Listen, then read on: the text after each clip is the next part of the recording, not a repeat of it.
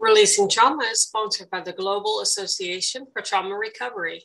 The Global Association for Trauma Recovery is a social impact organization serving as a resource for survivors and their families, dedicated to facilitating change by spreading trauma related awareness and thus creating a more trauma informed world. Learn more at gaftr.org.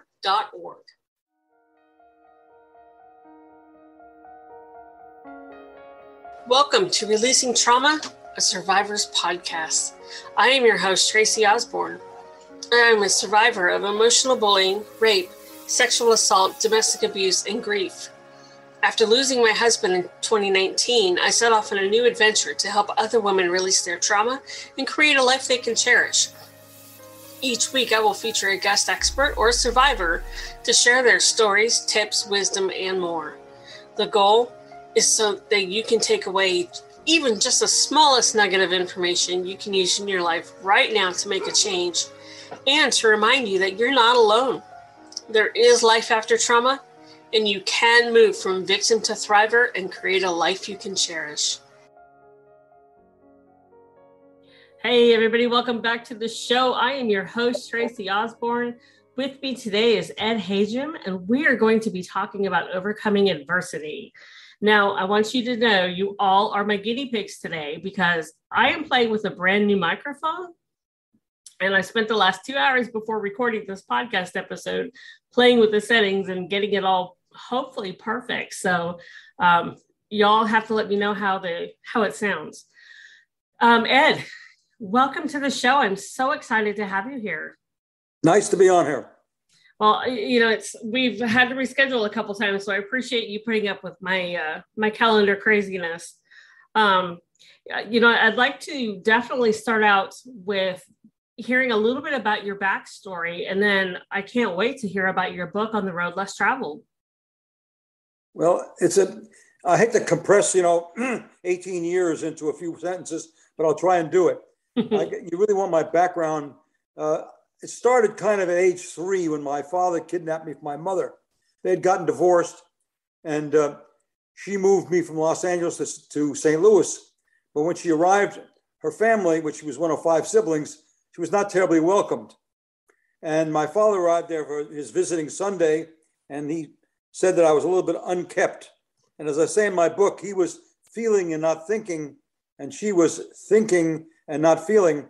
So when he decided instead of taking me to the movie, taking me back to Los Angeles, she didn't come after me because say she wasn't welcome in her family and she felt that maybe I was better off with him, even though legally, you know, I was basically given to her by the courts. Uh, mm. She got custody in the courts. My father didn't even show up for the divorce. Anyway, Dad and I spent the next two years together, part time. He was a radio operator aboard a ship. And uh, so I spent half the time with with uh, neighbor neighbors and the other half of my father, and we were sort of buddies during that period. Then World War II broke out, and he was either drafted or volunteered into the merchant service as an officer. And I spent the next five years in five different Catholic foster homes and five different Catholic schools, which uh, they, they, they ranged from the first one was pretty awful, kind of Dickinsonian, uh, you know, abusive. I wasn't Cinderella, but I, I sure as heck wasn't welcomed in those days, people took on people like me for basic for the for the income. And um, the last family, which I only spent six months with, were really spectacular and really set up uh, uh an example of what a family would be like. Fortunately, unfortunately, my father came back after the war and wanted me to come back to live with him. And I flew across country alone, which was shocking in those days, a five stopper from Los Angeles to New York. When I got there, he really I guess felt that he wasn't that excited about seeing me. Anyway, we spent the summer in the in the uh, YMCA on 34th Street, and he was looking for land-based work, and I was basically learning the subways at age 10, romping around. Uh, when it came time for school, we had to find a place to live, so we moved to Coney Island and lived in a hotel room, a room and a half in Coney Island. And I went to a local public school, PS 106, now, Dad had a bad year, but I had a pretty good year. PS 106 was a good school. Come the summer, he'd given up on land based work and decided to go back to sea. And he had basically arranged for a woman to take care of me during the summer of 47. And just before he was going to leave, she changed her mind. And I spent part of that summer alone in a hotel room, which, uh, you know, had learned the subways the previous summer. So I, I spent time watching giant baseball games, going to museums and libraries and things like that. But at 11 years old, it was quite, I guess, quite a quite an experience. Come the school year, uh, this woman was supposed to take me, but she wouldn't, and he ended up putting me in a in a, in a Jewish orphanage uh, in Far Rockaway, and I spent the next three years there. I traded my one and a half rooms in the hotel for a, a room with 50 other boys in it, with uh, traded my closets for a, a chair on, uh, basically a drawer under my bed. At that orphanage, I aged out around the age of 14, 15. At that point, my father completely disappeared, and uh, I didn't find out why he did that until 2015, when some papers came to the University of Rochester, and wow. some librarian noted the, the, the reasons. It's a long story, so I'll leave it out. Anyway, I became a ward of the state, and some very nice social social uh, social worker, instead of putting me in a uh, in a home for wayward boys, she sent me to another really fine orphanage in Yonkers, New York, that had a close high, high school close to it. And at that point, my life really turned. And I decided my way out of this whole problem was a private college education. And I put my shoulder to the, the wheel and uh, got good grades and uh, made up my mind I was going to go to a private college. And luckily, I got an NROTC scholarship as a senior and enrolled in the University of Rochester. It was my last choice. I really wanted to go to Cornell, which I was accepted, or RPI, which I was accepted. But the Naval Scholarship required a certain amount of academic efforts. And those required, that basically pushed out the engineering education from four years to five years. Rochester said they get me through in four. So I went to Rochester not knowing anything about it. But it turned out to be a great experience. It was a perfect school for me. So that's the first 18 years. I was in about 15 or 20 different locations, and people say, Isn't that horrible? It was, but those disadvantages became advantages for me. Uh, when you move as much as I did, become adaptable and you almost uh, you almost look forward to change. Uh, I always kid about it, but going from one schoolyard to the next, you you learn an awful lot. And by the third schoolyard, you're pretty professional in adjusting to a, a new situation. And that carried on to my later years when I felt I was willing to almost do anything in the business world. When people wanted somebody to take on a tough assignment, I took it on because I really enjoyed the idea of change and challenge. It, my early life had a lot of negatives, but it gave me this adaptability. It gave me resilience. It gave me perseverance. And later on, it gave me empathy. And then finally, it's given me an enormous amount of gratitude for what's happened to me since then. So those disadvantages became advantages. There were some still disadvantages which, you know, stayed with me, like anger. You never quite get over being angry as a young person because you see always kind of saying, why me? And I've had to fight anger all my life. I luckily have directed it uh, toward going getting ahead rather than at other people. I've directed it internally rather than externally. I was trying to figure out how I was able to do that, but it really helped me in getting ahead. That's a long answer to a short question, Trace. I'm sorry, but it's kind of a long story. No, that's that's perfect. That's perfect. I um you know, I'm sitting here listening to your story and I'm like, I've heard this story before. And I'm racking my brain trying to figure out how I've heard this story before. Um, I mean, I don't know if, you know, I, I don't know. I, I, must have heard it on, on, another podcast or something, but I'm like, gosh, this story sounds so so familiar. Um, well, the, the one part I left out is my father, when he kidnapped me, a few weeks later, told me my mother had passed away, and she had died. I was just about to ask about that. And, uh, you know, uh, it's in the book, but, you know, I didn't find her until I was uh, for 57 years. I finally found her. That's a that's the latter part of the book. Oh, that's good. I mean, you know, that's awful that you had to go basically your whole life without her. Um, but it's such a blessing that you were able to find her in the end. No, it's interesting because you you you think you're only your all you have as a reference is your father. You think you're all your father, but you realize you're enough different from him. There's something else in there. When I met my mother, I realized I was you know, at least half my mother. And, you know, that basically made me recognize who I am or better understood who I was. A little late in the game, but still necessary. Absolutely. It's never too late to figure out who you are. You know, Ed, so you had a a very tumultuous childhood, to say the least. Um, and, and you know, kids that go through such traumas like you've been through can either go down one of two paths basically you know they they either do what you did and say okay my only way out is education or they go down the other road so you know what really helped you to uh, make that decision that i don't want to go down the road of um, being a criminal or anything like that i want to go down this road and go to college and be educated well that's one of the reasons i've decided to move ahead with the book. I was just going to write it for my family, but many people said to me, "You've got some lessons here that you can pass on to young people." The biggest lesson I two, but there's two big lessons. One is anything is possible.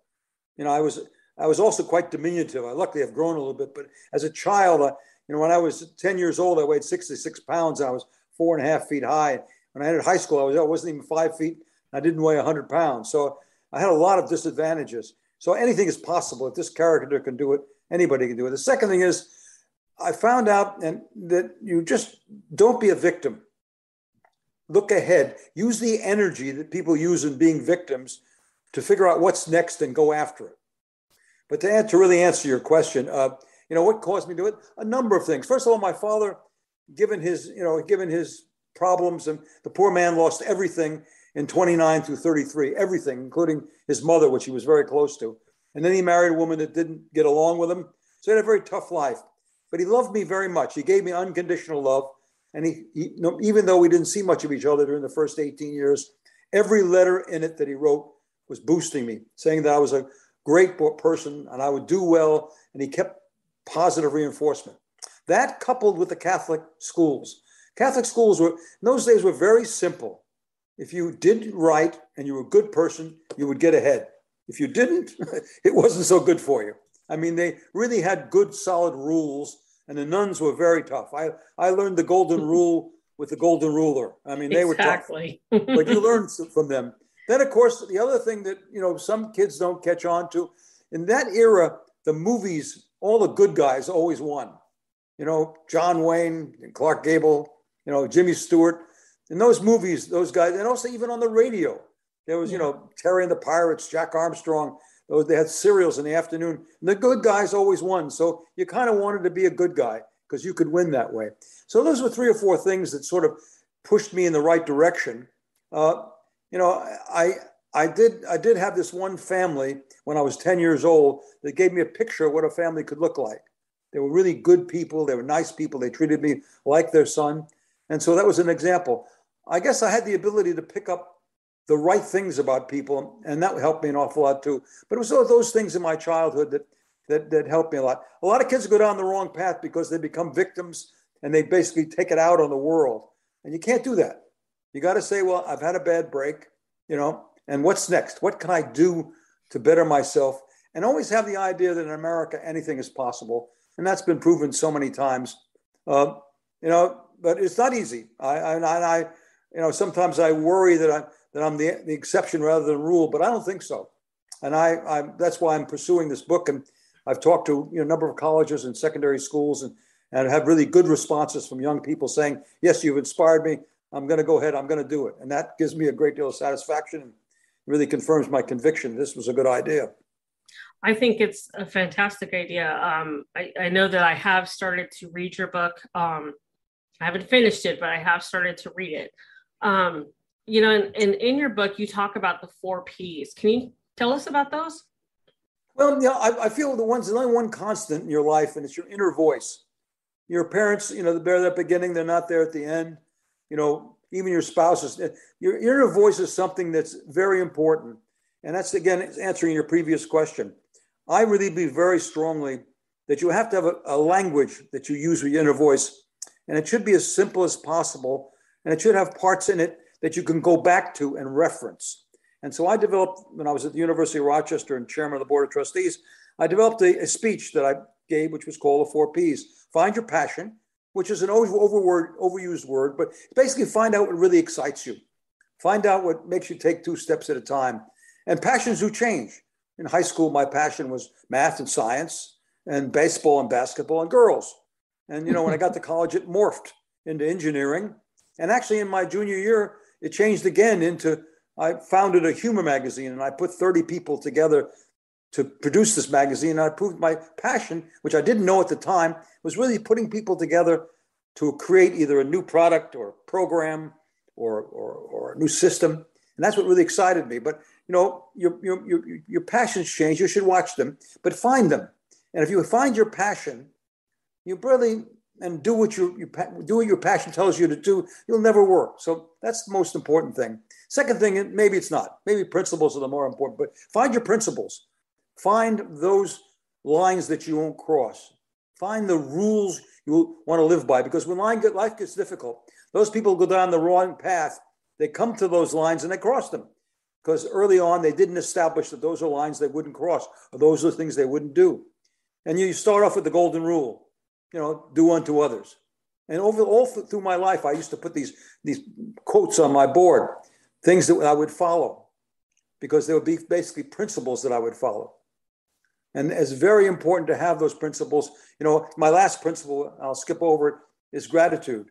You know, I really believe that the most important principle in my life at my age is giving back and gratitude to people, thanking people, thanking everybody that helps me. Thank you, Tracey, for having me on your program. so establish your principles, and, and the principles are, come from religion, they come from your parents, and they come from yourself. You can get them from books. I did. I didn't have a, a real founding in religion myself. I thought I was Catholic, but I guess I wasn't. And as soon as I found out I wasn't, I still I started to establish my principles. But there's so many ways of doing that. And there's also examples of people who you can take and say, these people are somebody I want to be like. Third one is find your partners. I've found that I'm only as good as the people who surround me. And I start off with, you know, P1 as I call her, my spouse, your, your real partner in life. You can find a partner in life that, you know, you can support, that will support you, that you can, you know, help and who can help you, who can basically be, be your friend forever, who really thinks you're important, you think she or he is important. So I think that's the most important thing, and who will follow you all through your life. I've been married now for, for 56 years, and without Barbara, you know, I wouldn't be where I am here today. That's the most important thing. But in everything you do, you need partners. I always kid about this in my jobs. I always try to find people. I establish the task. Then I found people that can do things that I can't do that have to be done. Then I found people who can do things better than I can do them. Then I found people that actually who can do things that I do, but I don't want to do. So mm-hmm. I get mm-hmm. those kinds of partners, I end up doing things that I do well that I want to do. And so it's an interesting collection. And your partners in each job are different. When I was in a company, you hire certain kinds of people to surround yourself with. When I was chairman of the board of trustees of a university, which was a you know a nonprofit or an eleemosynary organization, you surround yourself with different kinds of people. People do different kinds of tasks. So partners are very important. And then finally, plans. I believe very, you know, a senior, one of the universities I talked to asked me, what's the one thing you can tell me to do? And it's, it's very hard to answer, but it's one thing. And I said, write down your plans. Write down what you want to do and how you think you're going to do them. Even though plans changed, if you have a plan, at least you can go back to it and figure out why and how you're going to change it. I mean, God, God said, God plans, man plans, and God laughs. I, that's a famous expression, and it's true. But I always find this I write my plans, and I do it almost once a year, and I revamp them. And I say, This is what I want to do. And I say, Well, this didn't work. Why did it work? But writing down things really is a very important exercise because thinking is very fuzzy. Can barely remember what you thought. Oh, Speaking yeah. is pretty fuzzy too, unless you have somebody who really listens to you, and very few people really listen. When you write it down and you look at it, it's good. And I also think then when you write things down, you have to take into consideration what I call context. What period of history are you living in? What are the major things that are going to happen? And how can you take advantage of them? Find a wave or a cycle or theme or something you want to do. If you can ma- marry a theme to your passion, you really have one of the answers to life. You know, I really enjoyed, after I left engineering, the financial world. And I caught a theme from 1980 to 2000. All the markets of the world did very well, and I was involved in it. So the wind was at my back. Now, you don't necessarily want to have to have the wind at the back or want to have your wind at the back, but it really helps. You find out that most successful people take more credit than they deserve, including me, for their successes. but most of them have the wind at their back. They, they find something that you know works, they get involved in it, and the wind carries them. My company grew almost 20 fold, 20 times in 20 years. Uh, but during that time, the stock market went up 10 times. So I'd added a little something to it, but I had the wind at my back. So, so that's that third one is that plans. Think about your context. I, I always use the example of the difference between when my father was born in 1900. From 1900 to 1970, if you study that period of history, it was a really tough period. You had the Spanish flu, the First World War. You had a good few year, good years in the 20s, but they were a little crazy. Then you had a depression. Then you had a Second World War. After the Second World War, if you read the books, it wasn't such a great period. And the 70s weren't great. So, in many respects, he was born at the wrong time. I was born at the right time. The last 40 years, X, some really bump, big bumps, have been pretty damn good. So that's that are the four P's. And you can have your you can add your fifth P, which is if you get the four P's right, you end up with the most important P, which is purpose. It'll give you purpose if you exercise your passion, find your principles, surround yourself with good partners, and build some plans that take you in the right direction. So it sounds, you know, to me, I, I try to develop something simple so that when I go back and talk to myself, which is embarrassing, but I do it, uh, I can go back and look at these four things and say, Am I exercising my passions? Have my passions changed? Am I keeping my principles? Do, and by the way, my book tells you very clearly when I had the right partners, I succeeded. When I had no partners or the wrong partners, I failed. And that, you know, mm-hmm. and again, plans. Every job I took on, I took time to write down a plan. Because once you get into the war, you, you know, you have to go back and look and see what, what you're thinking about doing when you when something comes up. So, so I think those four things are fun. I've had a lot of people respond to me on them. They've used them. One one young lady used them as a P, as a a, uh, PhD uh, uh, a paper to get to get it get her PhD get going, and she got a good grade on it. So so that was pretty happy. I'm pretty happy with that. But it's fun. You can develop your own four or five things that you want to base on. You know, there are other things that that may be more important to you than the four Ps, but I think that covers pretty much everything for me. I mean, that's fantastic. I, I think those four Ps are um, they're crucial. And, and my I second know, book will be my second book will be an expansion. The four P's are described in my epilogue of this book. The second book, which is already written, will be an expansion of the four P's. I want to really go into it in depth. And okay, it's an allegory about a, a, man and a young boy traveling through the four P's with four villages that they go to, and each village it has its own characteristics, and they talk during the entire time. So it's it'll be fun if if I get the second book out. You mean when you get the second book out? Let's think positive here. Let's add another piece to the list. Positivity. yeah, and as far as talking to yourself, you don't have to be embarrassed by that. We all talk to ourselves. You only have to be embarrassed when you're doing it out in public, out loud, and you're arguing with yourself. No, no, it's a, it's a, it's a conversation.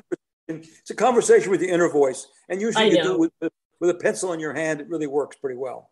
Oh yeah, absolutely. I, I have to do that myself all the time. I, I call it a staff meeting, but you know, um, so you know, Ed, thank you so much for coming on. This has been awesome.